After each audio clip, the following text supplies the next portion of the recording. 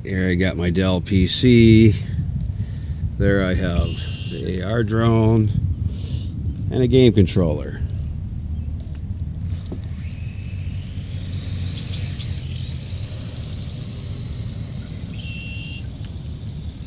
Alright, it's flying. I haven't quite got control of There it goes. It's trying to figure out where the ground is. And it's getting a little good hover. Getting a little hover. Let's go up. Whee! I set the limit about 20 feet. I don't want to go too high yet. Alright. There goes left. Oh. And still getting used to being outside. I'm taking it slow. Alright.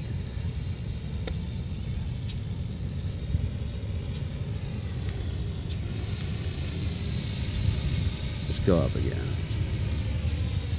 So that's it's at its limit right now. I can make it go higher probably. I'm gonna test it out a little bit and stop recording. Okay, I hovered it over the backstop. I don't know if you can see it.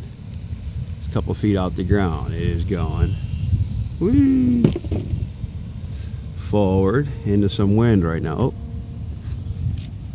Trying to record with one hand and fly it with another.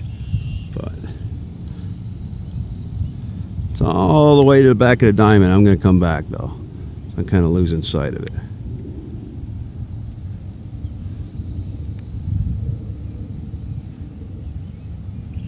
Trying to take it slow and easy. I'm not used to flying this thing. We just got a little breeze. Just a couple feet off the ground. Trying to check the range. Whoa. There it is there. Can you see it? I'm going to bring it right up to where I'm at almost at the other side of the backstop. There it is. Oh, right at home plate. Let's go up a little bit. Up. All right, I'm going to put the camera down and fly some more.